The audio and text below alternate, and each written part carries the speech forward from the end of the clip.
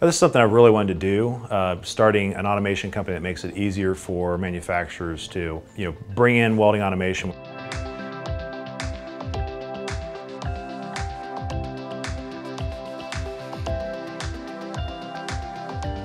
When we saw the Universal Robot and what it could do, it was an easy decision to uh, develop with uh, UR.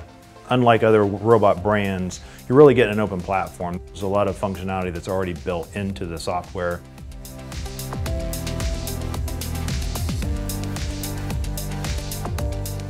THG um, incorporated a push button on the robot so you can grab it and move it around, which was extremely easy for me uh, being as a manual welder by trade. I was able to know where to put the welder. It's a lot easier because you know the angles that your torch needs to be at, your weld speed, the heat. The welds we can produce with the universal THG systems can vary from linear welds to circle welds to weave welds, uphill, downhill, horizontal. Uh, you can really do any position or kind of weld that you need to. When THG's first robot arrived at Raymath, Matt came in and delivered the system. We had about a day of training and we were in production by the next day.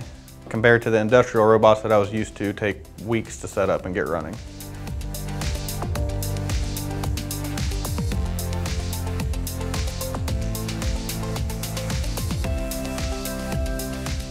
Our MIG weld units had worked so well, uh, but we have a number of parts uh, that require TIG welding. The precision of the parts has to be much better than the MIG, but once you get the precision down, the THG unit can make a very, very good TIG weld and man, so much faster than you can do it by hand. Welding aluminum was one of our biggest challenges um, going into this as it was all TIG welded by hand before. With the work of fixtures, we were able to weld everything in one shot now. You're looking at 15 to 16 minutes apart um, on the manual weld. Since they've been fixtured on the universal, we have been able to get them down to five to six minutes a piece. You don't have to rotate the parts. You can manipulate the weld arm all the way around the part as to where if a, a manual welder was doing it, he wouldn't be able to manipulate his arms that way. There's no doubt that robotic welding allows for a cleaner weld that has less bubbling. We have the ability now to not only reduce the amount of weld time, but to reduce the amount of grinding time that's associated with it. The learning curve isn't as steep as what people think it is.